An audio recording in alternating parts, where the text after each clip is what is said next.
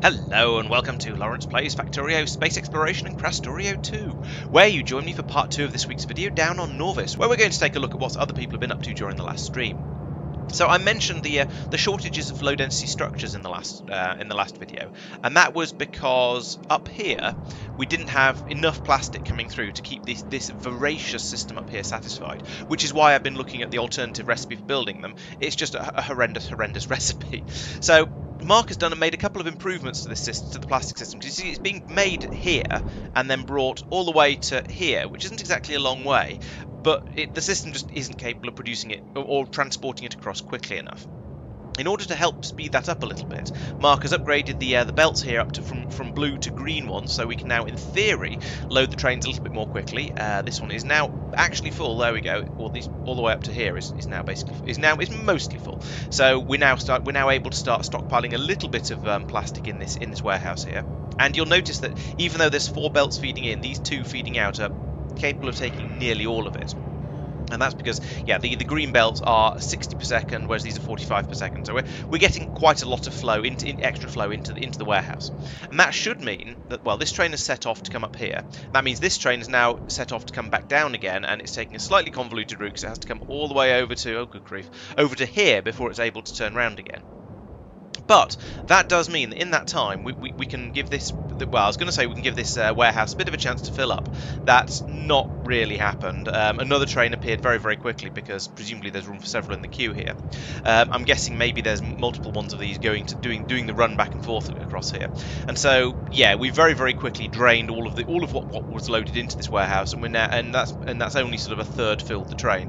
So yeah, it's a nice idea, and if we had a bit of a lull in the demand for plastic, then this would mean we'd be able to fill the station up here, and then we'd be able to dump it a bit more quickly into these trains.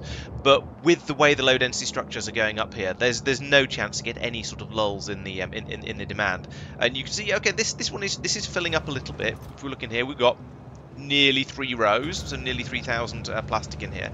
But this is, train is very, very quickly going to run out, even though we've got uh, eight green belts dumping plastic into here because we've got one, two, three, four, five, six, seven. We've got eight blue belts pulling it back out again. So it doesn't have much of a chance. It's going to empty again fairly quickly and almost certainly before this train is ready to go. So it's working well but not quite well enough, I guess, is, is, is what, I, what I'm trying to say here. Um, just because the recipe up here is so ridiculous, taking 10 plastic for every single low density structure just means we rip through absolutely phenomenal quantities of it. So yes, we are going to need a new recipe for making low density structures because this one just isn't keeping up. So as part, as well as upgrading these belts to green, uh, Marc says he's done a bit of babysitting of the rocket to try and get get more low density structures up into space because we are getting because we're getting through massive massive quantities of them.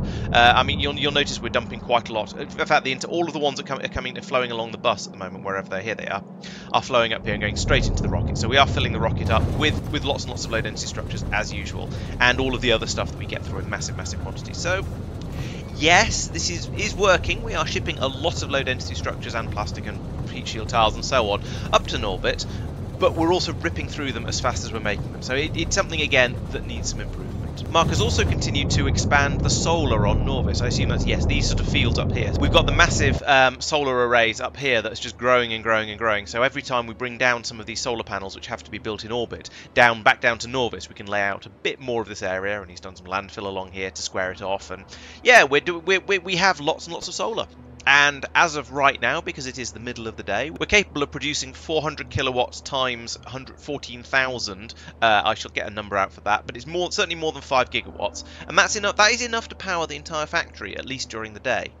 The problem is sometimes we have nights, and I, I am as usual cheating during the during the um, during the video making and having always day turned on just to make make the video look better. But as you can see, when night falls, we have this big spike up to here from the gas power stations trying to cover what can't be covered by the uh, the solar panels. What is quite interesting is that when the when night falls, the, the gas power stations are producing more power than the than the solar panels are producing during the day.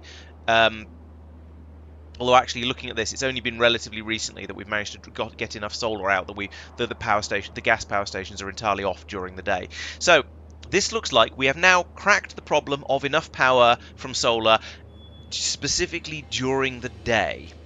which is an important first step, but now we need an extra sort of 50% on top of that in order to be able to turn uh, boil water and convert it into steam to set up a steam battery um, for, for, running during the night. Uh, and when we do that, then we will have enough power available to, to, to, start demolishing these free power systems over here, which just rip through enormous quantities of, um, of UPS, and that's, I think, part of the reason why the game is running a bit slower than we would ideally like it to.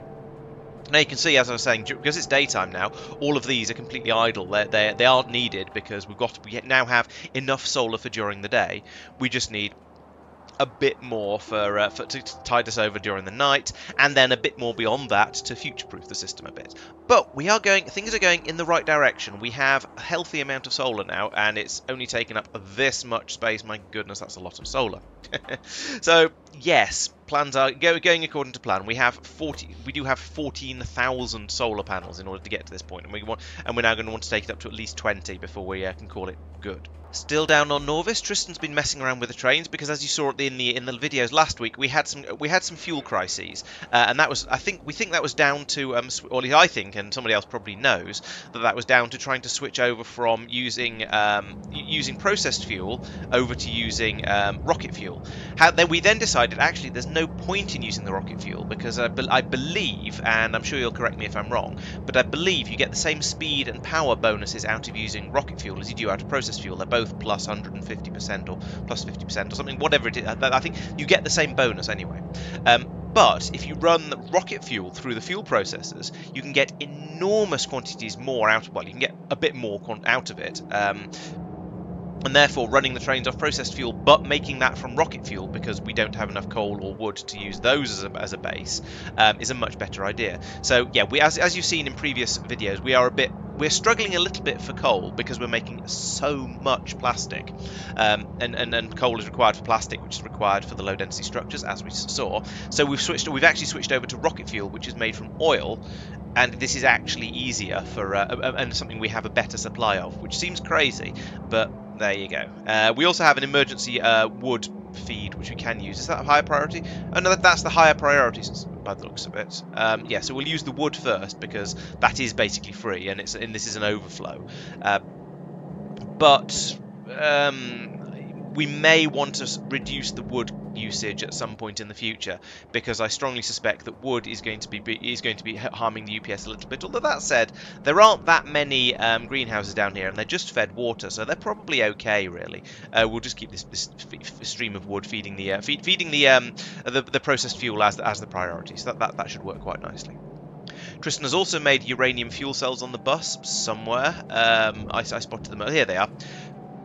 These are being put into a red chest so they can be brought over to the rocket and shipped up to uh, Nauvis, Norbit, um, because there are some of the more advanced uh, science types require uh, require you to use uranium uh, uranium fuel cells to make them. So we're going to we need those. they are being transported by bot, which is a little bit gross, but it's got a little bit crowded around here. We'll hopefully get a bit of a redesign once we switch over to the space elevators, and then be able to have everything delivered in a, in a nicer belt-based way or train-based way. I'm, I'm not. I don't have a problem with trains. I mentioned yesterday that we are having a problems with the hydrogen chloride coming out of, out of here, and it turns out the reason it was less of a problem than I thought is because Tristan had actually been in and fixed and improved it, and that's why we've now got the machines along here that are taking taking a full belt's worth of sand, or capable of taking a full belt's worth of sand, and probably also why we have some hydrogen chloride in these pipes, and it's now the the, uh, the raw rare metal that is the limiting factor over here. Um, so yes, he's improved that a bit. Uh, it's going to need further improvement once we increase the the uh, production rate of, of, the raw rare metals. But for now, that seems to be the, uh, the, the, the rare metals are the limiting factor. And now I think I shall take us back up to Norbit. And if we look over here, let's see. So one of the things I did in the in the last stream, uh, you, will have mentioned, remember, you'll remember that I um, increased the uh, throughput of the of the uh, blank data cards down here before by putting in far more of these, and that massively overstressed the uh, the co contaminated cosmic water processing. So I increased that a bit, and that probably was okay but these pipes were still quite full. So I thought, right, let's let's just make sure. So I've put in another two machines over here. These are quite straightforward. I, I had to put in a bit of an underground pipe here in order to get in order to get this underground pipe into place. Uh, so there's a, there's a little bit of a gap here, but you know it's an underground pipe, that's fine. And that's enabled me to get the uh, get these extra two machines in. They, they fitted in quite nicely. There was no, no, no, significant difficulties here, and we now have more processing for the contaminated cosmic water than we need. So these pipes are basically empty. So that's great. That's what we like to see. The contaminated cosmic water processing is working very nicely. We do still have a shortage of data cards down here, though. Despite the despite the doubling of production, we are still using them up as fast as they're coming in. Although that said, we do actually ha we have a train sat here now that is full and hasn't been hasn't been requested anywhere, and there's practically a train's load in here. So maybe actually maybe we're now okay. One of the reasons we've been having so much of a problem is, and this is this is very much my fault, is that over here I um, I, I, have been stockpiling rather a lot of the Astro 1 catalogues because I, I decided I, I, decided to stop this filling up when it got to 3,000 instead of 1,000, which would have been a sensible number. So we've got a lot of Astro 1 catalogues in here, and that means a lot of data cards tied up in there because it takes four data cards to make each one, I think, and you get some of them back when you use them. So there's a massive backlog in here, a massive stockpile in here, and then once, but once we bring them up here and we use them for for insights and significant data and you know astroscience because that's what we then the main, the main reason for them. Once we've used up a load of them, we'll, we'll pour some back onto the onto the into the bus again, and hopefully that will help quite a lot. But we shall see how that goes in the in the long run. I mean, we do have quite a lot doing things like just hanging out on belts here, which is there's quite a lot here, but there's not a lot you can do about that unless you go out unless you go bots for absolutely everything, and we're not going to do that for all of all of the reasons that I've mentioned in the past. I also, speaking of bad ideas, had this what seemed like a great idea of putting in a green chest down here. And this is this is a, this is a buffer chest, so you can program one of these with various requests and to ask it to bring in certain things. So I programmed it, and I've removed the programming now because it was a bad idea. But I programmed it up to bring in some scaffold and some belts and some and some splitters and some underground belts, with the idea being the uh, the bots could bring them over to here, and then they get you. And then when I when I asked for a large chunk of stuff to be built down here, so for example, if I say I want to put in a load of um, space scaffolding like that, then the bots can take it from here and build it and build it over here, rather than having to fly it all the way over. I don't know where all the bots are. They're, they're obviously been stolen by somebody else doing some building. But the bots can pick the stuff up from here and build it out much, much more quickly, rather than having to fly from all the way over here with the with the with the goods. So you can see here that here they are. They're coming in from wherever. They can grab the scaffolding from here, bring it over, and lay it down. So in theory, this should make things much, much quicker. The problem is, because we have this one Roboport network to rule them all and in the UPS bind them, we have a problem that if you then try to build some over here, bots will prioritise taking from a buffer chest rather than a much nearer um, red chest. So when Mike is building up here, the bots will grab it from down here. When the, if I'm building over here or Marc's building up here, they'll fly all the way down here to grab them and fly all the way back again. Now, in theory, we could get around that by having these green chests in every every area. But again, you'd still, when you ran out of stuff in your area, you'd then have that problem again. So it's not really, it's not particularly practical. It's not, it's not working the way I wanted it to.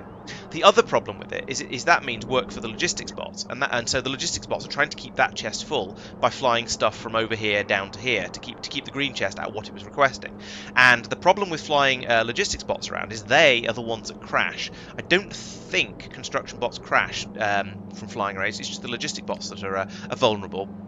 And so that means you're going to get through lots and lots of bots just carrying stuff around here. And it, it what we should actually be doing is splitting off all of these Roboport networks from each other and having them separate, and then having maybe a train coming out, bringing out all of those supplies, uh, things like the, the, the basic things that everywhere needs, like pipes and scaffolding and and um, belts and things like that all of that can be brought out by train and then these buildings well the problem is yeah you, you either you either link your entire all your roboport areas together like this in which case you take a massive UPS hit and it takes three days for the bots to fly from wherever to wherever.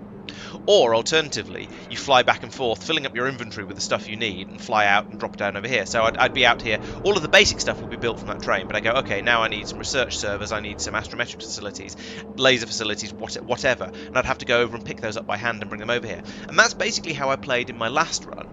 But I did spend quite a lot of time flying back and forth across the base. Now I didn't have the um, the train system to bring over the the, the, the scaffolding and stuff at that point. So maybe with the if we put in a train to bring over construction stuff and then just rely on the weird buildings and things being brought over by hand, maybe that would be better. I I don't know, but as, as it is, Mike in particular has been commenting, and I say Mike in particular not because he complains a lot, but because he's building the furthest away from from the bus area. And you can see these are these are these are these white blobs are uh, logistics bots flying stuff over to his green chest that's presumably up here somewhere. I, I, I don't know exactly where it is, but he's presumably done the same thing.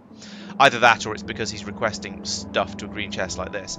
But you can see all these red dots here, and these are where robots, these are where logistics bots have crashed, and because that's outside the Roboport network, the wreckage hasn't been picked, hasn't been tidied up. So we'd have the wreckage of bots with random bits of belt and motors and engines and so on, just scattered around the uh, scattered around in the in the uh, cold depths of space.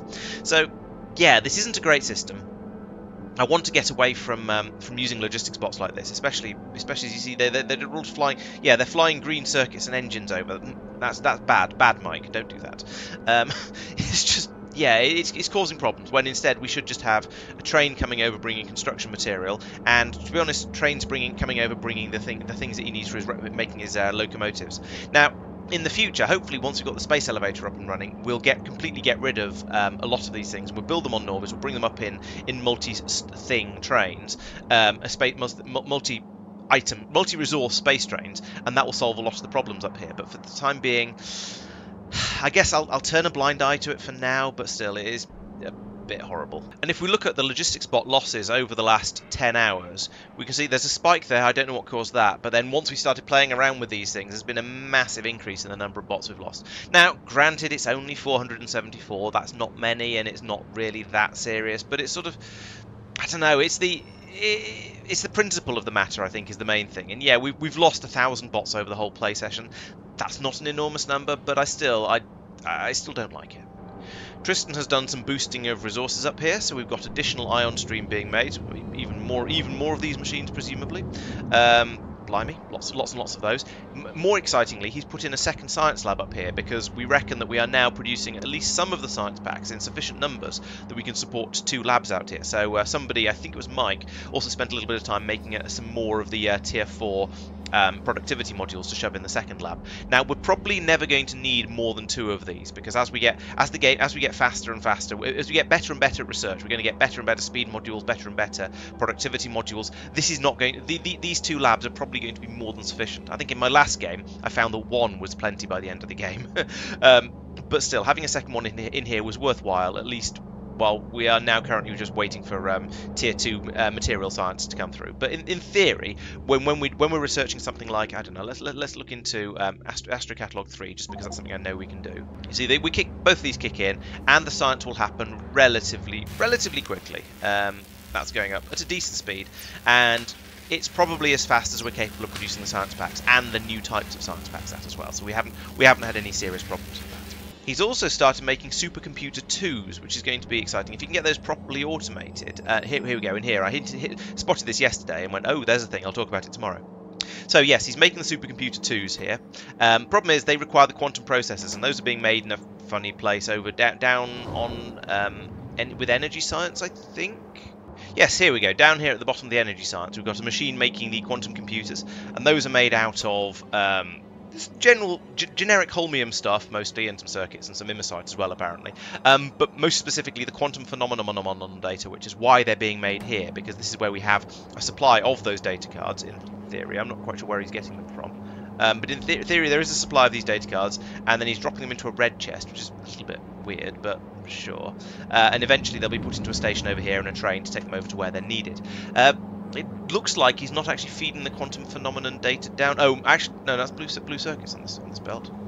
Yeah, maybe he's not feeding the. Maybe he's hand feeding the quantum phenomenon data because he's definitely hand feeding the quantum processors up here into the machine that's making into the machine that's making the tier two supercomputers. So that's going to need to be improved at some point in the future, but not not just yet. Maybe that'll be what this belt is for that comes all the way down to here. So if we look over here, yes, there we go, quantum quantum supercomputer. So at some point, he's going to bring these up here by train, put them onto the bus here, and pass them up, and make, we can make start making tier two supercomputers uh, in in larger numbers. So that's that's good.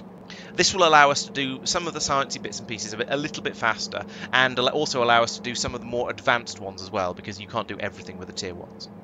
He's also, uh, speaking of upgrades, gone over in the in the science area. We now have one of the computers, this one apparently. Uh, here we go. This is why he wanted a tier two quantum supercomputer. Um, uh, quantum supercomputer, sorry, the tier 2 supercomputer. Uh, and that's, that's because now, as I was saying, it allows you to do some more advanced stuff. Here he is making the significant data from all four colours of insights. Now we have all four of them available in decent, in decent quantities. Um, and these are marked for upgrade at some point when we actually have the, have the computers for it.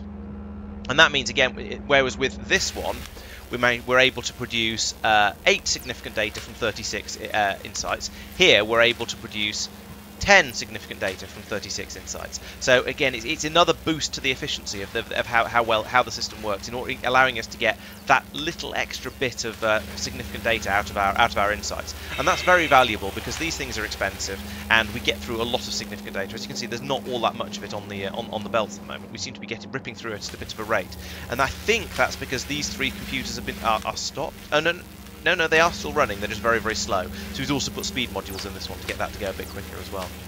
So yeah, we might need to speed this up a bit in the next uh, in, in, the next session, or perhaps just upgrade some more of the computers first. Either way, we don't have enough significant data, so that needs a boost. He's also tidied up the uh, some some um, nonsense that Mike was. Uh, Mike had leaked some iridium plates and some iridium girders onto the disposal system, and that had come down here, right all the way down to the bottom, where it had sat here on the end of the bus, set off the alarms, and so Tristan went in and tidied up after Mike. So uh, th thank you for that. Marc has been working on biologicals, so yes, we, we, we know he's been he's been doing this for a couple of sessions now. And now we've got this massive tower of ooh, biological stuff going all the way up to here. Uh, let's have a look at what's going on here. So Right, uh, we talked last time. We touched on what was going on up here. So this, this is the system that turns bio goo into nutritional goo into bio samples, and then turns the samples back into goo again. So it goes round and round and round. But you get more and more samples as you as you go on. So over here we've got a we've got a system where he's feeding um, the biosamples down here to be, as a priority down here to be turned back into more goo, because you need to keep that closed loop running uh, in order to get more out. If, if, you sent it all out to go and be science and ran out down here, then it wouldn't be it wouldn't be able to keep itself sustained. So the first priority is to ship it down this way. He's also got, interestingly, his disposal belt, which is bringing out junk data cards, is also bringing out um, bio samples as well in order to take them down to be to be regrouped and re, re, re, recycled. And that one is where is it? Here, it was. And that's the priority on the input. I think you might need a belt side balancer on here to um, to ensure that the, we, we always use the uh, the stuff whatever's coming down here and also because this has clearly clogged up because we're not getting through these enough. Uh, there, no, there isn't room to stick one in here, unfortunately. So yeah, that's going to need need a little bit of a tweak, but the basic system seems to be working. So then up here, what do we have? Well, we've got the genetics data being geneticized. That's that's where we take in some lithium chloride apparently okay um, and data cards and biosludge and it produces genetic data and, and, and, and junk liquids. Okay, fine. Then we're uh, this is the usual, similar to the material science, where we're taking in, uh, in this case, we're taking in um, biomass and then dissolving it in chemical gel probably and that produces some biochemical data telling us how it dissolved so that's useful and lots of contaminated goops as well that we, we can then recycle uh, it also takes in some spice as well which is a, a, a, thing that can be brought over by delivery cannon though so that's fine then up here, similarly, we are, what are we doing here? We're biomechanical data, so we're presumably we're squashing or stretching or crushing the uh, the biomasses. With, uh, we've got some lubricant in there so it all slides nicely. That produces data and again turns the biomass into back into goop that we can uh, recycle. Then we're setting fire to it here with plasma stream, lovely. Again, more data. Feeding all of that, all, and then we're feeding all of those, uh, except that we seem to run out of combustion data because we've run out of... I don't know why we've run out... Oh, we've run out of combustion data because these junk data cards are backed all the way up. Right, that's why. Because a lot of these, you look in here, you see it's only got a 75% chance of actually producing the data. Um, half, a quarter of the time it produces, it, fails in one way or another, and 24% of that time it produces a junk data card. The other time the data card, I don't know, gets burned burned into nothingness by the plasma, I suppose. And I'm guessing the other ones have similar probabilities down here. And no, no, that these are the, these ones all, always always succeed, so that's, that's, that's nice. But it's just this one up here, the fiery one, where sometimes you accidentally burn the data card and have to send it back to for, uh, for reformatting.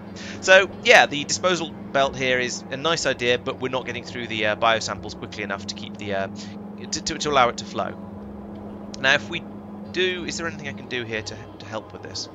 Not really. Uh, we'll just have to leave it. Leave, leave it. Actually, I can put a little bit more belt on up here, and that'll fix that problem. And then we'll, then, that, then that'll suddenly flow, and we'll be able to produce the sciences again. So that's going to produce all of the bio uh, catalog ones that we could need. They're going to get dumped out onto the belt along here, poured out, and presumably brought down to a, train down here. There we go. Yes, there's a train with the standard um, setup on it. Right now we've put in that, that belt. You can see this is this has been allowed to flow a bit. Where where is it?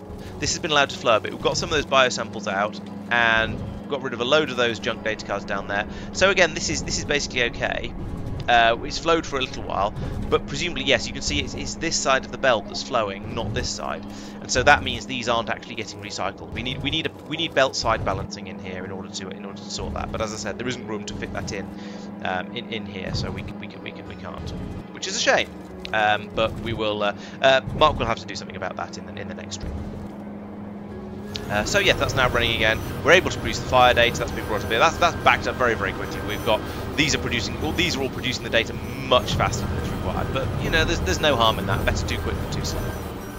Uh, then up here, it looks like Marc has made a good start on on Bio 2, so he's producing what's this advanced genetic data, I guess, um, in order to, and, and oh, he's in the advanced um, bioculture and advanced biosamples, and then uh, and then he started to get work on uh, squishy, another squishy data with the experimental biomass, and another Bernie data with the experiment with this insectant here biomass, and then what's this one? This is biochem, and then again same sort of thing with the biochem. So again, it's exactly the same, but this time he's using the purple biosamples, which are made by this machine from uh, normal biosamples and no way that's make oh oh this is another one of the the circular things. So look up Sam. Okay, so we make so, so, yes, here we go. We make so you need the, the the tier two experimental genetic data, which is made from two of the earlier science pack science cards uh, and a nutrient vat and and vitamelange extract, which is awkward because we can't transport this yet because it doesn't go in delivery cannons. Uh, Marc has brought a rocket's worth of it over, and I think we're hand feeding it at the moment. But we'll get we'll get the trains and the, we'll get the space trains and spaceships and things up and running sooner or later and that allows us to have um, the experimental bioculture, which you can then turn with the nutrient gel into the experimental biomasses and also some normal biomasses. So there's a by byproduct there. So that might be why there's quite so much on uh, of, of, the uh, biomasses on here. So this is going to need, as I say, needs the, needs the belt balancing, and then it, then it'll probably all be fine. And then up here, squish, burn, melt, and probably the geneticize. So now it looks like actually Marc is progressed really, really quickly. He's practically there with Bioscience 2 catalogs. So we'll only need to copy these up and turn them and, and uh, program them for the Tier 2 catalogs, and we're going to have that as well. Wow, that's that's that's an impressive leap forward, and that'll be really nice because once we've got all the biologicals, we can start looking into things like the better um, the better productivity modules like this one. Um, what's that waiting for? I was waiting for bioscrubbers. All right, there's a couple of other things to do. But basically, we can start doing the better productivity modules, and that'll allow us to do, have even better boosts on all of the all of the things we're trying to make. The only problem with that is these are going to be astonishingly expensive um, to make. They're going to require catalogs and scrubbers, and yeah, it, you, you see what I'm getting at here. Ah, Marc says he's not finished um, biological, but the biological two science because he needs vitalic acid, um, and that's he's going to be setting that up on Nauvis next stream because it's going to be a fairly big thing and it's something we want to do on planet side because that way we can use productivity modules get more of it out because yeah it's going, it's going to require a lot of throughput. Now what we might do here so oh look there's another, there's another green chest that's causing um, bot deaths what we might end up doing, and I suspect um, which is what I did last time, I got all the levels of Vita processing done out on my Vita Melange planet, and then shipped because it's it's quite it's quite a, it requires quite a lot of the earlier step earlier levels to make the later levels. In fact, let's have a look at that. So Vita Melange spice, it takes 30 of those. No, actually no, it only takes 10 because you get 20 of them back, but it takes 10 to make about five, just over five. So it's about two to one ish.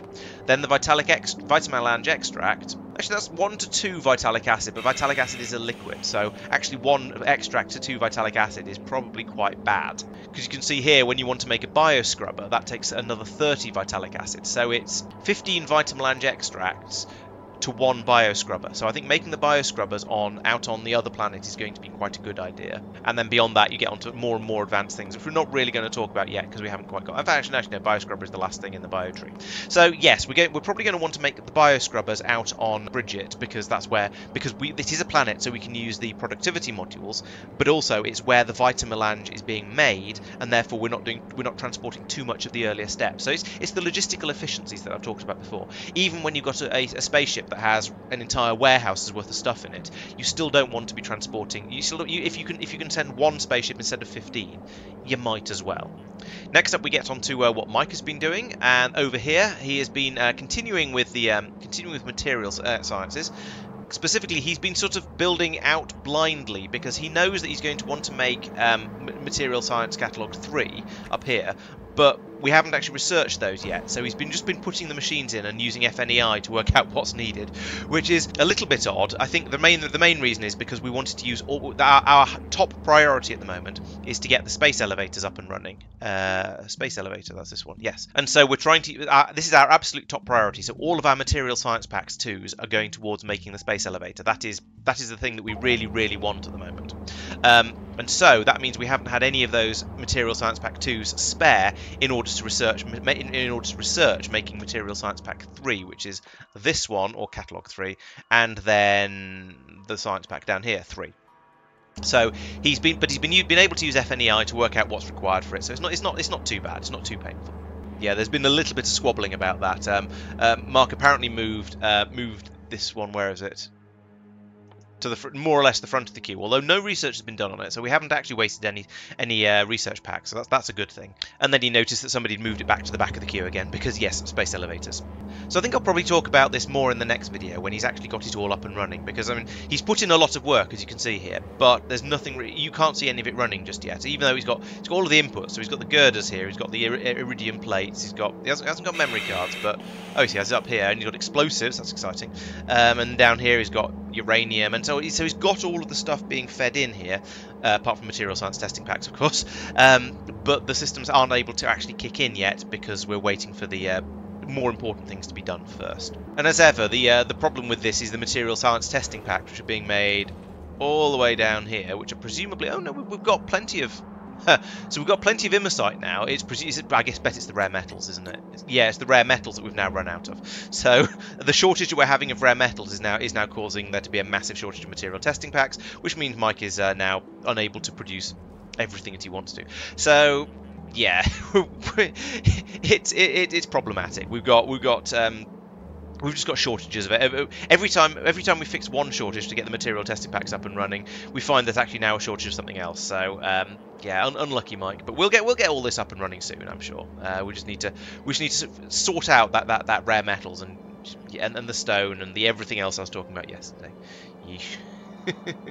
So that's uh, that that brings you up to date with uh, Nauvis Orbit. Let's have a quick look around some of the other planets because there's, there's not been an enormous amount done out on these. But I did mention last week this this area had jammed up. There was there was a blockage of um, core fragments and stone coming around here. So I went out and had a look at it, and I honestly don't know what was causing the problem because I didn't do anything, and now it's working absolutely fine. We have we ha we have the uh, the core core processing running here. We have the core, uh, the, the vulcanite ore that's coming in from core processing coming along here and being made into the vulcanite. So, and we have loads and loads of vulcanite in the warehouse over here. So I, honestly, I don't know what went wrong there. I don't know how we managed to apparently run out, apparently jam the system up. But when I went and looked at it, it had magically fixed itself. Um, I do wonder if it was due to the um, the glass that we're shipping to uh, Nauvis, whether it was due to that clogging up. And so last week when we when we unclogged it there, that meant there was then a bit of a load on the stone again from here, and so we were able to slowly trickle through it. And by the time I went out and looked at it, it had just caught up. Um, I'm not 100% sure, but for some reason or another, the problem was fixed, and we it, it's now working happily. Out on Snowdrop, Tristan has started building a nuclear power plant. Let's have a look for that. Here it is over here. It's one of those long, really ridiculously long linear designs that uh, that Marc put together, where you uh, you feed a load of water in up top here into from a load of pumps that don't have power. Great.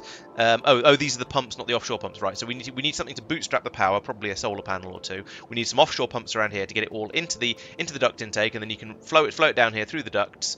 Uh, that's ducts with a T uh, all the way down here, and then in, in the tanks. You, have seen you've seen this nuclear plant before. There's, there's an identical one of these out on Agnea because that's a waterless planet, so we didn't want to, I didn't want to use the free power. And Tristan is using this one rather than the free power system because we reckon this is going to be far more UPS friendly. Eventually, he'll be producing enormous quantities of um, cryonite from this planet, but you know, having power is an important first step. Uh, what's this ridiculously long belt? Oh, this is going to be taking the fuel cells over to the uh, nuclear power plant. Fine, I mean that makes a lot of sense. When I released the last video, or possibly in the last stream, I had a request from someone in the comments asking me to cover what research we'd done in the in the in the last session. So uh, today I'm, I'm going to do that for the first time. So we have researched, and then this actually this is going to be really useful because it'll tell me what extra stuff we've got and therefore what I should be thinking about upgrading to. So we've got advanced furnaces. So these are um, basically they are a they are a furnace, but they're made out of significantly more exotic uh, materials like energy control units, imersium beams, and so on. Uh, presumably they're much better. I'll have a look in a second. Uh, a crafting speed of eight. That sounds pretty good, uh, but I imagine they probably use more power. They're more expensive to make, and so on. We researched heavy bearings. Those are an intermediate step. They are a thing you will use for a lot of the more advanced infrastructure, and I imagine that Mike is going to be using a lot of these in his research later as well. Now that we've got bio biological sciences, we've been able to um, do intelligence, the intelligence one upgrade, and that increases lab productivity uh, by five percent. So, in, in other words, we need five percent less, you know, for, with rounding errors because of maths. Um, we need 5% fewer um, research packs in order to make each each, each individual science uh, science discovery. So that's really good. And this is the other really good reason for making for doing biological sciences. That you get all of these sort of upgrades, and you get the productivity packs as well, and you get you get you get some other nice stuff from bio as well. But those those are the two things that really stick out to me right now. Uh, we've done Biological Catalogue 2, and that allows us to then go on and start making Biological Science 2. Um, but we're not doing the Science 2 research until we're actually until we've got all this ready because it because uh, well doing too many doing too many researches clogs up the available science in here and makes you think you can do things when you can't. So we're going to leave that for a little bit longer. We've done all the available simulations. So that'll be the bio biomechanical simulation and then the uh, xenoprogression simulation and the uh, nanite simulation and, and allowing us to then do the universal simulation. And these the, these these give us the recipes that allow us to get the higher productivity from turning insights into significant data. So that again is very valuable for efficiency reasons and allows us to do, as I was talking about earlier, this universal simulation recipe to get the to get 10 from our 36 instead of only 8. Space elevators are in progress, as I've been talking about. That's going to be very, very useful. We'll hopefully see those in the next session. Bioscrubbers have been added to the queue because, you know, it's a bio thing that we can do relatively easily. And material catalogs 3s are in the queue because um, Mike would like those in order to be able to you know stop building blindly. So uh, once we've got the once we've got the elevators, once we've got the space elevator finished, we can then pick off the uh, the next the next two catalogs for the um, uh, sorry, the bioscrubbers and the uh, and the material catalogs to allow um, Marc and Mike to get on with their sciences, their, their sciences a bit more effectively. Finally, we're going to have a quick look at the death counter. Now, everyone's been doing pretty well here, mostly because we've all been hiding up in space, and despite what you'd expect, space is actually a relatively safe place to be. We have a nice, healthy supply of the um, of the, the life support canisters coming up, so nobody is suffocated. Everything is going pretty well up there yeah, it's just going. It's it's going well. We're uh, we're all we're all surviving quite nicely. No no deaths at all to talk about. So that brings us to the end of the episode. Thank you very much for watching. I hope you've enjoyed it, and we'll uh, check we'll check out the stream on Monday. We'll have also a Factorio video coming out on Tuesday. Uh, what that video is will depend on whether you're a supporter or not. Channel supporters get access to all of my videos a week early. Um, if you're if you're if you have made a donation on Ko-fi, PayPal, or uh, you're a, a, Twitch subscriber or a YouTube member and you don't have that access, uh, come along, join the Discord. Make sure you've got your um, appropriate accounts linked together, and you'll get you'll get the access that way. I shall be back on Wednesday for a mystery um, stream, and I say mystery because I haven't actually decided what I'm going to be streaming yet because I finished um, XCOM last week. Uh, so yes, there'll be something there. Maybe it'll be Darkest Dungeon, maybe it'll be Kerbal Space Program. There'll be something anyway, and I'll be putting up a poll to, uh, to, uh, allow people to, to offer their opinions on what I should be streaming. And of course, I'll be back next Friday and Saturday with some more update videos from the next um, fr from the next stream. So, thank you very much once again for watching, and I'll see you next time. Bye bye.